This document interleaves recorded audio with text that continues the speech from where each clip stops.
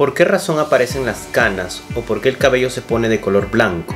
El color del pelo desde hace mucho ha sido un símbolo de juventud y de salud, pero es inevitable que a medida que comenzamos a envejecer comienzan a aparecer cabellos blancos o grises, denominados comúnmente como canas. A este proceso se le denomina canicie. La canicie es la pérdida de la pigmentación del cabello, es decir, los cabellos comienzan a perder su tinte natural, su coloración natural. Típicamente este proceso comienza entre los 30 y 40 años. ¿Y cuál es el fundamento científico de este cambio de color?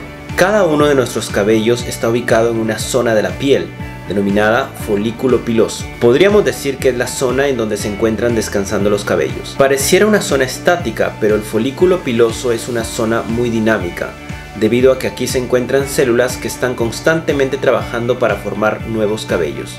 Además en esta zona hay unas células especializadas que se encargan de ir pintando el cabello a medida que va creciendo el colorante o tinte natural que agregan es melanina. Las células encargadas de formar esta melanina son los melanocitos. Recuerda, las células que agregan la melanina se les denomina melanocitos y la melanina es la responsable del color del cabello. Cuando el cabello se hace gris o blanco es porque el número de melanocitos se ha reducido. ¿Y por qué se ha reducido?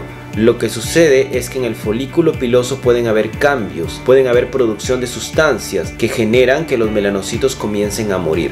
Por ejemplo, cada una de las células en el folículo piloso está constantemente trabajando, está metabólicamente activa. Como parte del metabolismo se liberan especies reactivas de oxígeno, que son componentes nocivos para las células. Nosotros todos los días formamos esos compuestos reactivos, pero a medida que vamos envejeciendo se forman más y nuestro cuerpo no los va a poder eliminar con facilidad.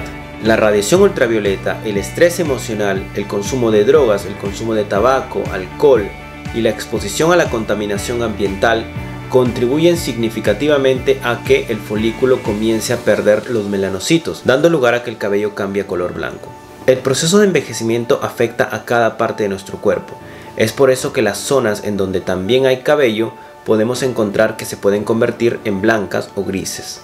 Por ejemplo, el vello de las axilas, el vello de la barba, el vello de los genitales y vello de otras partes del cuerpo, como por ejemplo piernas y brazos. ¿Y existe alguna forma de revertir el cambio de color de cabello? La respuesta es no, pero sí hay algunas cosas que podemos hacer para reducir la velocidad de envejecimiento de nuestro cabello. Como por ejemplo alimentarnos con vitaminas antioxidantes como la vitamina A, C, D y E. También consumir minerales como el zinc y el magnesio. Y también otras sustancias antioxidantes que vienen en algunos alimentos como frutas y verduras. Debemos evitar el estrés emocional, debemos de dormir 7 a 9 horas diarias por la noche, debemos evitar el consumo de alcohol y tabaco. De esta manera podríamos reducir la velocidad como nuestro cabello cambia de color. Finalmente para comentarles que en la comunidad científica hay optimismo en revertir la canicie. Esto es porque el folículo piloso ha sido foco de múltiples investigaciones científicas. Entonces es posible que en los próximos años podamos tener tratamientos efectivos, seguros y duraderos.